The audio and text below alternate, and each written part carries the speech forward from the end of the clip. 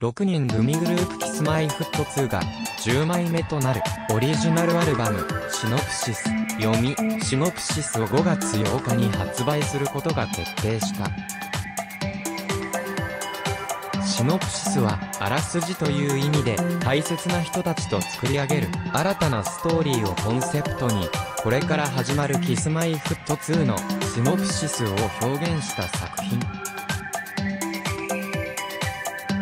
アルバムの情報解禁に合わせて新ビジュアルとジャケット写真も公開されており大人なスタイリングとポップな遊び心あふれる新ビジュアルが完成した。